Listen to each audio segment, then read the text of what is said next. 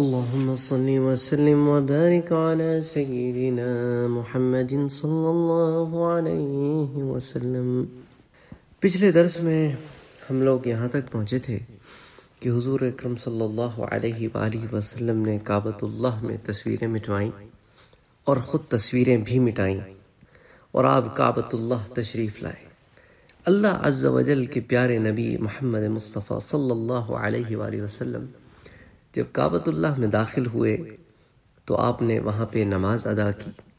اب اس ضمن میں جو تفصیلات آتی ہیں، اب ہم اس کو دیکھتے ہیں کہ ایک طرف تو حضرت حافظ ابن حجر اسقلانی رحمت اللہ علیہ کہتے ہیں کہ ایک شاد روایت کے مطابق ان حضرات نے کعبے میں داخل ہو کر اندر سے دروازہ بند کر کے نماز پڑھی۔ کن حضرات نے؟ حضور صلی اللہ علیہ وآلہ وسلم کے ساتھ حضرت اسامہ ابن زید نے اور ساتھ حضرت بلال حبشی نے، اسی طرح ساتھ عثمان بن ابی طلحہ نے اور ایک روایت کے مطابق اور فضل ابن عباس نے۔ اور جب بھی کعبۃ اللہ میں داخل ہو گئے تو انہوں نے اندر سے دروازہ بند کر لیا۔ دروازہ بند کرنے والے دراصل حضرت عثمان بن ابی طلحہ تھے۔ اور حضرت بلال رضی اللہ تعالی عنہ نے اس معاملے میں ان کی مدد کی، ان کی معاونت فرمائی۔ دروازہ بند ہو گیا اور حضرت خالد ابن ولید دروازے پر کھڑے ہوئے تاکہ لوگوں کو قریب آنے سے روکے۔ حضرت عبداللہ ابن عمر کہتے ہیں کہ جب انہوں نے کعبے کا دروازہ کھولا تو سب سے پہلے ان کے سامنے پڑھنے والا شخص میں تھا۔ پھر مجھے حضرت بلال ملے تو میں نے ان سے پوچھا کہ کیا کعبے میں اللہ کے رسول صلی اللہ علیہ وآلہ وسلم نے نماز پڑھی۔ انہوں نے کہا ہاں حضرت عبداللہ ابن عمر کہتے ہیں کہ پھر مجھے یہ پوچھنا انہیں یاد نہ رہا کہ آپ نے کتنی رکعت پڑھی۔ تو اس تفصیل سے یہ معلوم ہوتا ہے کہ حضرت بلال کا یہ قول کہ پھر اللہ کے رسول نے کعبے میں نماز پڑھی ہے، اس بات سے ثابت ہوتا ہے کہ اللہ کے رسول نے کعبے میں نماز پڑھی ہے۔ اور یہ بات متعین اور معروف نماز کے لیے ہے، نہ کہ دعا کے لیے ہے، جیسا کہ بعض علماء کا خیال ہے۔ علامہ سحیلی رحمت اللہ علیہ کے کلام کے مطابق عبداللہ ابن عمر کی حدیث میں یہ متعین ہے کہ حضور صلی اللہ علیہ وآلہ وسلم نے دو رکعت نماز پڑھی تھی۔ یہاں ہم کچھ اور باتیں بھی آپ کے سامنے پیش کر دیں اور یہی وجہ ہے ان باتوں کو پیش کرنے کی کہ کبھی کبھی ایسے ہوتا ہے کہ لوگ مختلف کتابوں میں مختلف احادیث پڑھتے ہیں اور روایتیں پڑھتے ہیں اور چونکہ وہ سمجھتے نہیں اور کسی سے رجوع نہیں کرتے، اس لیے کبھی کبھی اشکال کا شکار ہو جاتے ہیں اور شکوک و شبہات میں پڑ جاتے ہیں۔ تو ان مختلف روایتوں کو دیکھتے ہیں، پھر ان میں انشاءاللہ اللہ کے حکم سے مطابقت پیدا کریں گے۔ تو حضرت عبداللہ ابن عباس رضی اللہ تعالی عنہ کی حدیث ہے کہ مجھے اسامہ ابن زید نے بتایا کہ حضور جب کعبے میں داخل ہوئے تو آپ نے اس کے ہر حصے میں دعائیں پڑھیں مگر نماز نہیں پڑھی۔ یہاں تک کہ آپ باہر آ گئے۔ البتہ باہر آنے کے بعد آپ نے بیت اللہ کی طرف رخ کر کے دو رکعت نماز پڑھی۔ یعنی آپ نے یہ دو رکعت کعبے کے دروازے اور حجر اسود کے درمیان پڑھی، جو حصہ ملتظم کہلاتا ہے۔ پھر آپ نے فرمایا یہ قبلہ ہے۔ اب دیکھیں دو روایتیں ہمارے سامنے آ گئی ایک حضرت بلال کی روایت ہے، جسے حضرت عبداللہ ابن عمر روایت کرتے ہیں۔ وہ کہتے ہیں کہ آپ نے کعبۃ اللہ میں نماز پڑھی۔ دوسری روایت حضرت عبداللہ ابن عباس کی ہے، جو اسامہ بن زید سے روایت کرتے ہیں۔ جو ان لوگوں میں سے ایک آدمی ہے جو کعبۃ اللہ کے اندر گئے۔ وہ کہتے ہیں کہ حضور نے نماز نہیں پڑھی، بلکہ حضور نے نماز تو کعبۃ اللہ سے باہر آنے کے بعد پڑھی۔ اب اس بات سے دو باتیں تو ثابت ہو گئی کہ حضور صلی اللہ علیہ وآلہ وسلم نے کعبۃ اللہ کے اندر بھی نماز پڑھی اور کعبۃ اللہ کے باہر بھی نماز پڑھی۔ اب ان دونوں روایتوں میں مطابقت پیدا کریں گے، لیکن اب تھوڑی سی اور کچھ ڈیٹیل دیکھ لیتے ہیں۔ اچھا علماء نے اس میں کچھ اصول بھی قائم کیے ہیں۔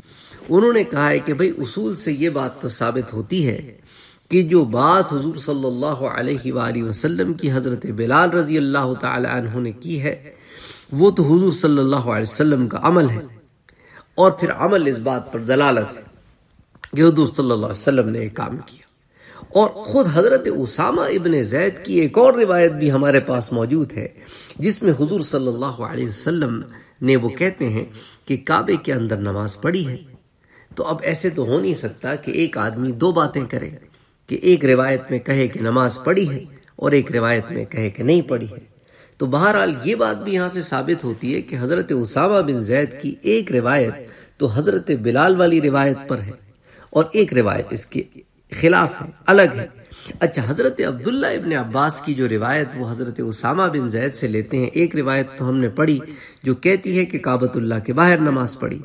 پھر حضرت عبداللہ ابن عباس سے ہی روایت موجود ہے علامہ حافظ حیثمی رحمۃ اللہ علیہ اس کو کتاب مجمع الزوائد میں لے کر آتے ہیں کہ وہ کہتے ہیں کہ اللہ کے رسول بیت اللہ میں داخل ہوئے اور جہاں آپ نے دونوں ستونوں کے درمیان دو رکعت نماز پڑھی پھر آپ کعبے سے باہر نکلے تو آپ نے کعبے کے دروازے اور حجر اسود کے درمیانی حصے میں بھی دو رکعت نماز ادا کی اور فرمایا، یہ قبلہ ہے۔ تو حضرت عبداللہ ابن عباس کی روایت سے بھی یہ بات ثابت ہو گئی کہ حضور صلی اللہ علیہ وسلم نے کعبے کے اندر نماز پڑھی اور یہ بھی ثابت ہو گیا کہ باہر بھی نماز پڑھی۔ اچھا پھر حضرت عبداللہ ابن عباس کہتے ہیں اس کے بعد آپ دوبارہ کعبے میں داخل ہوئے اور وہاں کھڑے ہو کر دعا مانگی مگر نماز نہیں پڑھی۔ اب اس روایت سے یہ بات کھل کر سامنے آ جاتی ہے یہ پورا مسئلہ واضح ہو گیا نا ابھی۔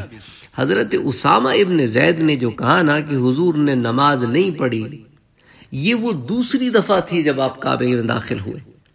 اور جو حضرت بلال والی روایت ہے، وہ وہ پہلی دفعہ پہ روایت ہے کہ جب پہلی دفعہ داخل ہوئے۔ اور حضرت عبداللہ ابن عباس نے وہ روایت بھی بیان کی کہ ہاں بھائی، نماز نہیں پڑھی یعنی جب دوسری دفعہ گئے نماز نہیں پڑھی۔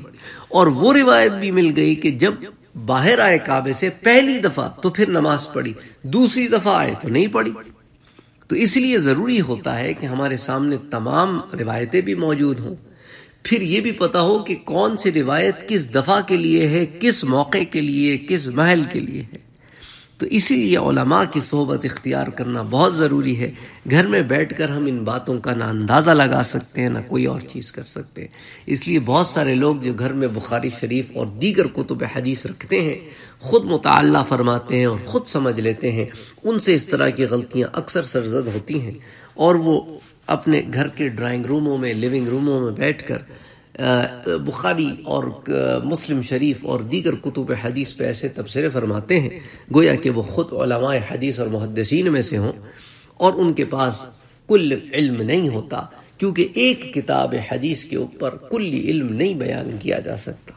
جب تک تمام روایتیں سامنے نہ ہوں اور ہر روایت کا ایک موقع اور محل ہوتا ہے، وہ بھی سامنے نہ ہو۔ اس لیے ان کو بظاہر ایسے لگتا ہے کہ ارے، یہ تو آپس میں اختلاف میں ہیں۔ دراصل وہ ان چیزوں کو پڑھتے نہیں ہیں وقت نہیں لگاتے۔ تو اسی لیے بات سامنے آ گئی، کوئی اختلافی مسئلہ نہیں ہے کہ حضور ایک سے زائد مرتبہ کعبے میں داخل ہوئے۔ پہلی مرتبہ داخل ہوئے تو آپ نے نماز ادا کی، دوسری مرتبہ داخل ہوئے تو نہیں پڑھی۔ اچھا بعض علماء نے اس موقع میں یہ بھی لکھا ہے کہ حضرت عبداللہ ابن عباس اور حضرت بلال کی روایتیں دونوں درجہ صحیح پر ہیں۔ حضور صلی اللہ علیہ وآلہ وسلم ایک دفعہ کعبۃ اللہ کے اندر تھوڑی داخل ہوئے ہیں۔ آپ تو حجت الوداع کے موقع پر بھی کعبے میں داخل ہوئے ہیں۔ لیکن جب آپ حجت الوداع کے موقع پر کعبے میں داخل ہوئے تو آپ نے وہاں نماز نہیں پڑھی۔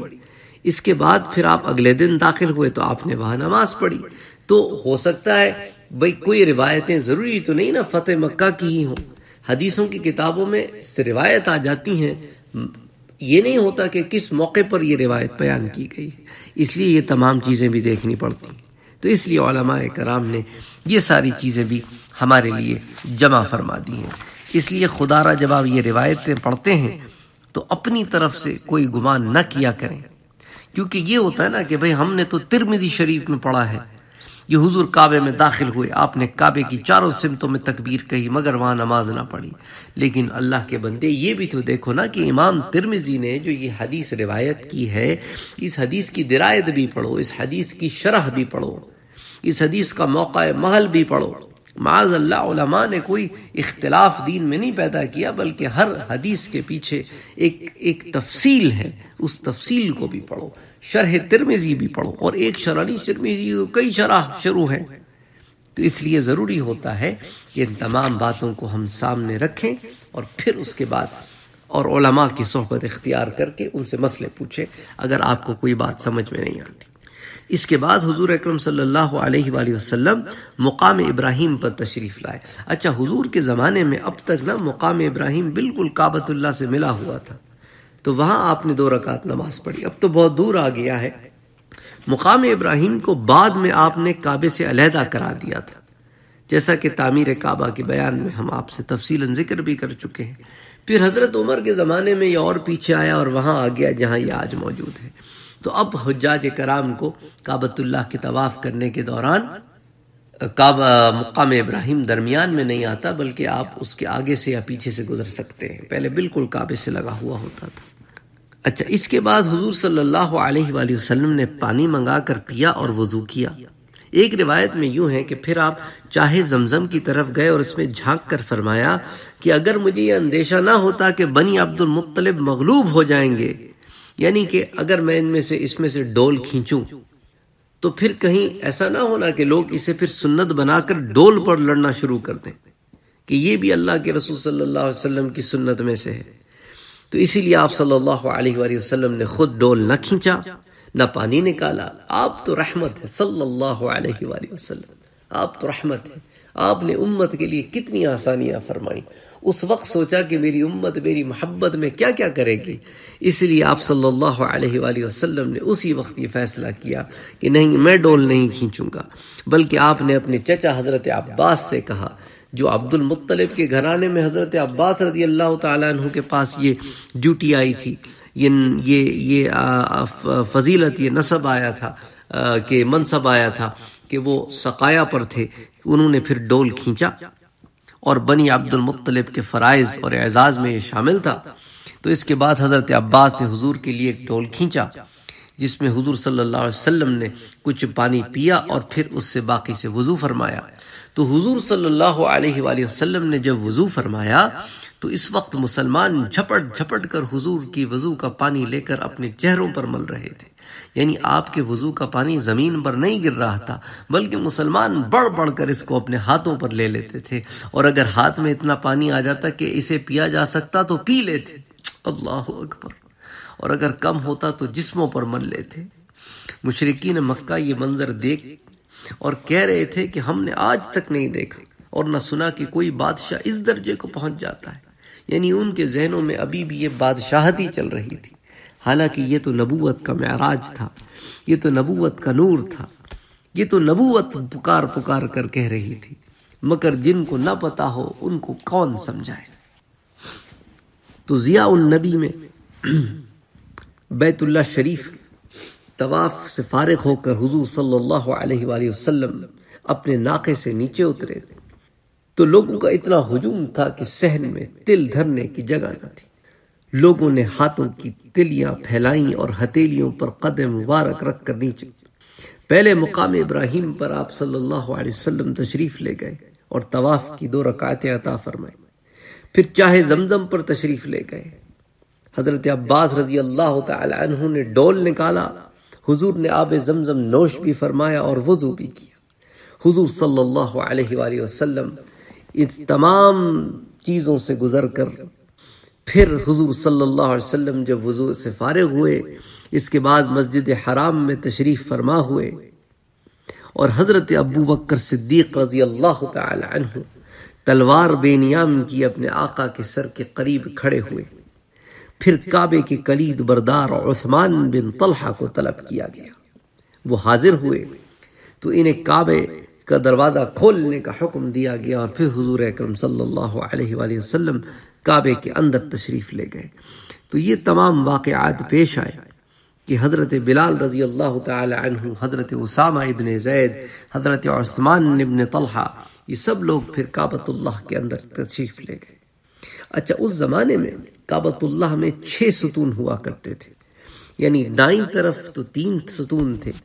ان کے درمیان دو ستون، ایک طرف اور تیسرا ستون دوسری طرف۔